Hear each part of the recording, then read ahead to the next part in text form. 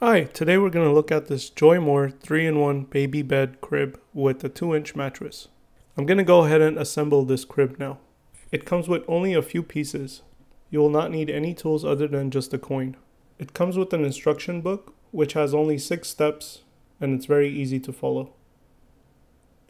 You'll start by putting in the casters. You'll then move on to putting in the sides, as well as the support beams. All the sides as well as the support beams are screwed in by those plastic caps. These plastic caps are actually very strong and hold everything together really well. Here we are putting in the mattress base.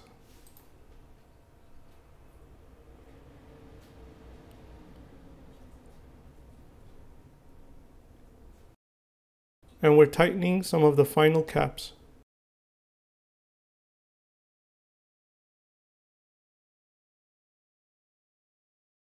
After you have tightened it by hand, you'll just need a coin to tighten it a little bit more.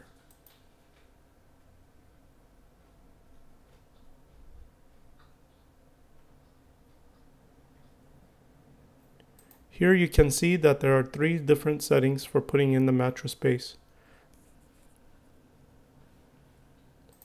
Here we are changing it from the middle height to the highest height.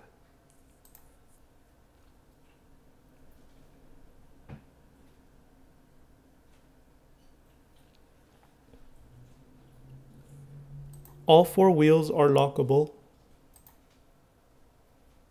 And here's the final bed crib completed. It's very lightweight, easy to move around, and very strong.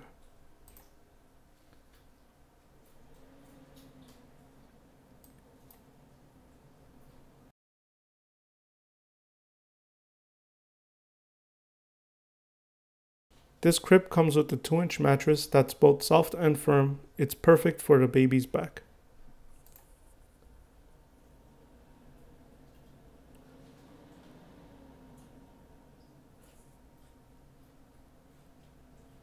Thanks for watching this review and I hope you enjoy this 3-in-1 baby bed crib.